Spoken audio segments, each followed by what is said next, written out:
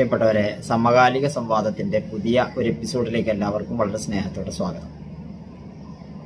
Light of മെഹ്റാബ് എന്ന പേരിൽ മൂന്ന് മാസം നീണ്ടു നിൽക്കുന്ന ഒരു ക്യാമ്പയിൻ നടത്താൻ സമസ്ത മഹൽ ഫെഡറേഷൻ തീരുമാനിച്ചിരിക്കുകയാണ്. ഇതുമായി ബന്ധപ്പെട്ട് നമ്മുടെ സമൂഹത്തിൽ നടന്നുകൊണ്ടിരിക്കുന്ന അനിസ്ലാമിക പ്രവണതകൾ അതിലേക്ക് കാരണമായ കാര്യങ്ങൾ തുടങ്ങിയ ചില വശങ്ങളിലേക്ക് ശ്രദ്ധ തിരിക്കാനാണ് ഇന്നത്തെ സംസാരം ഞാൻ ഉപയോഗപ്പെടുത്തുന്നത്.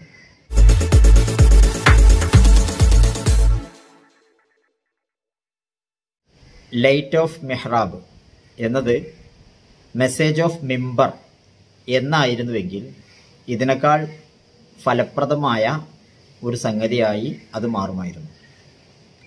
നബിസ്ലാഹു അലഹി വസല്ലമ എല്ലാ വെള്ളിയാഴ്ചകളിലും തന്റെ ജനങ്ങളോട് വെള്ളിയാഴ്ച ഹുത്തുബയിലൂടെ സംസാരിക്കാറുണ്ടായിരുന്നു. അത് അവരുടെ സംസ്കരണ മാർഗത്തിൽ വളരെ ഫലപ്രദമായ പങ്ക് വഹിച്ചിട്ടുണ്ട് എന്ന് മനസ്സിലാക്കാൻ കഴിയും. ജുമ ഹുത്തുബയുടെ ഉദ്ദേശം ജനങ്ങളെ ഉത്ബോധിപ്പിക്കലാണ്. സാധാരണ ആളുകൾ മീറ്റിംഗ് വിളിക്കാത്ത നട്ടുച്ച സമയത്ത് അള്ളാഹു സുബാനു തല അവന്റെ ഖുർആാനിലൂടെ ജനങ്ങളെ വിളിച്ചുകൂട്ടിയ മഹത്തായ ഒരു സംരംഭമാണ് പരിശുദ്ധ ജുമാ നമസ്കാരം എന്ന് പറയുന്നത്. വെള്ളിയാഴ്ച ഇങ്ങനെ വിളിക്കപ്പെട്ടാൽ നിങ്ങൾ അതിലേക്ക് ധൃതിയിൽ പോവുക. നിങ്ങളുടെ ലൗകികമായ എല്ലാ ഇടപാടുകളും മാറ്റിവെച്ചുകൊണ്ട് എന്ന് പരിശുദ്ധ ഖുർആൻ പറഞ്ഞതിന്റെ അടിസ്ഥാനത്തിലാണ് ആളുകൾ ആ നട്ടുവച്ച സമയത്ത് ഒരുമിച്ച് കൂടുന്നത്. നബി സല്ലല്ലാഹു അലൈഹി സ്വലമ ആ സമൂഹത്തിൽ അപ്പോൾ ആവശ്യമുള്ള കാര്യങ്ങൾ അവരെ പറഞ്ഞ് ബോധ്യപ്പെടുത്തുകയായിരുന്നു പതിവ്. നബി സല്ലല്ലാഹു അലൈഹി സ്വലമയുടെ കാലശേഷം സച്ചരിതരായ ഖലീഫമാരുടെയും താബികളുടെയും താബിഉ താബികളുടെയും ഒക്കെ കാലഘട്ടത്തിലുള്ള ഹുത്തുബ എടുത്ത് പരിശോധിച്ച് നോക്കിയാൽ നബി സല്ലല്ലാഹു അലൈഹി വസല്ലമയുടെ ഹുത്തുബ എഴുതി വെച്ച് അത് അതേപോലെ ഉരുവിടുന്ന രീതി ആയിരുന്നില്ല ഉണ്ടായിരുന്നത്. പകരം ജനങ്ങളെ അതത് കാല കാലത്തെ സമകാലികമായ വിഷയങ്ങളിൽ ജനങ്ങൾക്ക് ഉത്ബോധനം നടത്തുകയായിരുന്നു ഈ പറഞ്ഞ എല്ലാ വിഭാഗം ആളുകളും ചെയ്തിട്ടുള്ളത്. അതുകൊണ്ട് തന്നെ ജുമാ ഖുത്തുബയുടെ ഉദ്ദേശം ജനങ്ങളെ സംസ്കരിക്കുക എന്നതാണ് എന്നത് അതിൽ നിന്ന് മനസ്സിലാകുന്നതാണ്. ഈ യഥാർത്ഥ ഉദ്ദേശത്തിൽ നിന്ന് നമ്മുടെ സമൂഹം തെറ്റിപ്പോയതല്ലേ? അനിസ്ലാമികമായ പ്രവണതകൾ നമ്മുടെ സമൂഹത്തിൽ ധാരാളമായി ദൃശ്യമാകാൻ കാരണം എന്ന് പരിശോധിക്കപ്പെടേണ്ടതാണ്. നമ്മുടെ സമൂഹത്തിന് എല്ലാ വെള്ളിയാഴ്ചയും കൃത്യമായ ഉപദേശ നിർദ്ദേശങ്ങൾ അതത് സന്ദർഭങ്ങളിൽ സ്വീകരിക്കേണ്ട ഇസ്ലാമികമായ നിലപാടുകൾ എന്നിവയെക്കുറിച്ചുള്ള കൃത്യമായ പാഠങ്ങൾ എല്ലാ പള്ളികളിൽ നിന്നും മുറക്ക് കിട്ടിക്കൊണ്ടിരുന്നുവെങ്കിൽ നമ്മുടെ സമൂഹത്തിന്റെ നിലവിലുള്ള അവസ്ഥ ഇപ്പോഴുള്ളതുപോലെ ആകുമായിരുന്നില്ല എന്ന് വിലയിരുത്തപ്പെടാറുണ്ട്.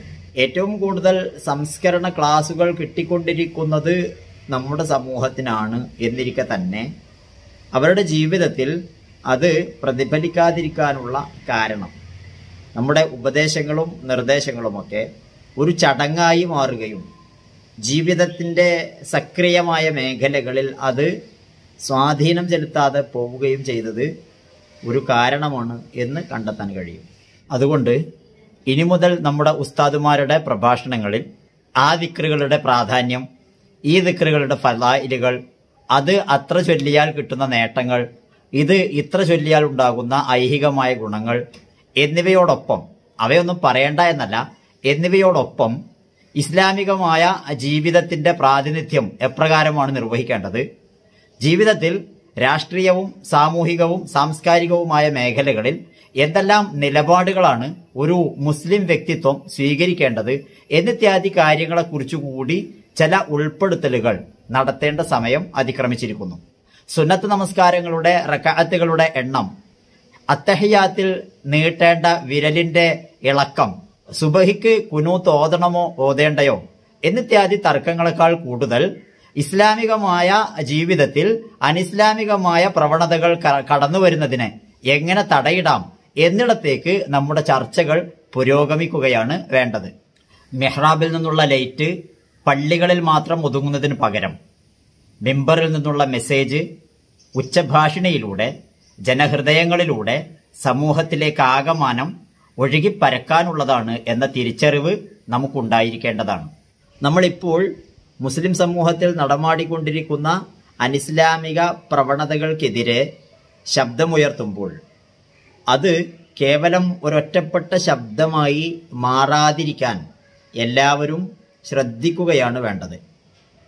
ഇതിൽ സംസ്ഥയെന്നോ സംസ്ഥയിലെ എ പി ഇ കെ വിഭാഗമെന്നോ അതല്ലാതെ ജമാഅത്തെ ഇസ്ലാമി മുജാഹിദ് പോലെയുള്ള നവോത്ഥാന പ്രസ്ഥാനങ്ങളെന്നും ഒന്നും വ്യത്യാസമില്ലാതെ നമ്മുടെ സമൂഹത്തിൽ രൂഢമൂലമായി കൊണ്ടിരിക്കുന്ന അനിസ്ലാമികമായ പ്രവണതകൾ ഒപ്പം പലിശ മദ്യപാനം ചൂതാട്ടം തുടങ്ങിയ എല്ലാ രംഗത്തുമുള്ള തിന്മകളിൽ നമ്മുടെ സമൂഹത്തിന്റെ അസൂയാവഹമായ പ്രാതിനിധ്യം അതിൽ നിന്നുമൊക്കെ നമ്മുടെ സമൂഹത്തെ രക്ഷിച്ചെടുക്കാൻ ഇത്തരം ക്യാമ്പയിനുകൾ ഫലപ്രദമായി ഉപയോഗപ്പെടുത്തേണ്ടതുണ്ട് എന്നാണ് എനിക്ക് തോന്നുന്നത്.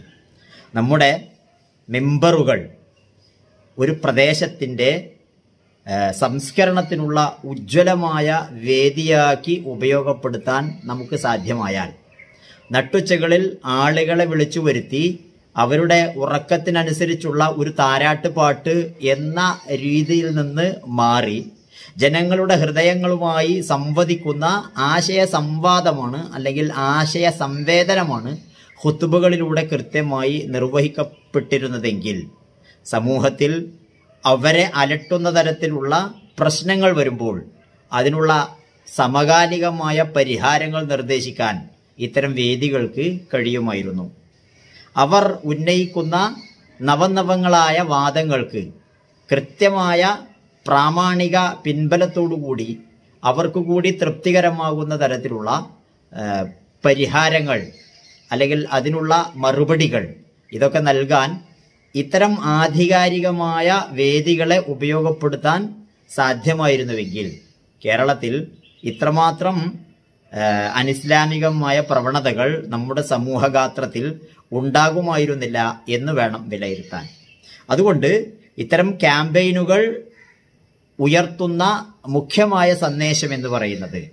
ഇത് ഏതെങ്കിലും ഒരു പ്രത്യേക വിഭാഗം നടപ്പിലാക്കേണ്ടതല്ല. കേരളത്തിലുടനീളം മുസ്ലിങ്ങൾക്കിടയിൽ വ്യാപകമായി അവർക്കിടയിലുള്ള ദൈവനിഷേധപരമായ യുക്തിവാദപരമായ സർവതന്ത്ര സ്വതന്ത്രതാവാദപരമായ എല്ലാ നിലപാടുകളെയും ചോദ്യം ചെയ്യുകയും അവക്ക് പ്രാമാണികമായി അവയുടെ സാധ്യതയും അവയുടെ നിലനിൽപ്പും എത്രമാത്രമാണ് എന്ന് അവരെ ബോധ്യപ്പെടുത്തുകയും അത്തരം വാദങ്ങളാൽ നമ്മുടെ സമൂഹത്തിനുണ്ടാകുന്ന അപകടം നമ്മുടെ ഭാവി ജീവിതത്തിനുണ്ടാകുന്ന അപകടം എത്രയാണ് എന്ന് ബോധ്യപ്പെടുത്തുകയും ഒക്കെ ചെയ്യുന്ന തരത്തിലുള്ള ഉത്ബോധന ക്യാമ്പയിൻ നമ്മുടെ സമൂഹത്തിൽ വളരെ വ്യാപകമായി നടക്കേണ്ടതുണ്ട്. അതിന് എല്ലാവിധ പിന്തുണയും അറിയിക്കുകയാണ്.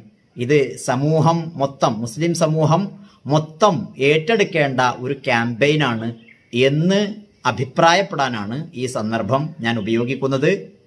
എന്നെ ശ്രദ്ധിച്ച എല്ലാവർക്കും നന്ദി നമസ്കാരം.